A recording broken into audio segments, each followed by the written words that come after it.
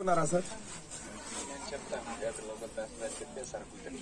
Sir సరుకులు కాదు sir ఇప్పుడు తక్షణ సాయం పది పది వేల రూపాయలు వీళ్ళకి ఎప్పుడు వస్తాయి సార్? అది వస్తాయండి. లిస్ట్ ఫైనలైజ్ అవుతుంది ఇవాళ ఒక రెండు మూడు రోజులు. అలాగే పట్టా పాస్బుక్లకు సంబంధించిన సమస్యలు కూడా ఇక్కడ విపరీతంగా ఉన్నాయి కలెక్టర్ గారు.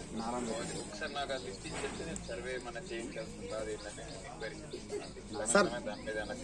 తప్పకుండా సార్ తమ ఆఫీస్కు మా టీమును పంపిస్తాను సార్ ఈ గ్రామానికి సంబంధించిన సమస్యలు ఇచ్చి. List Thank you, sir. Thank you, sir.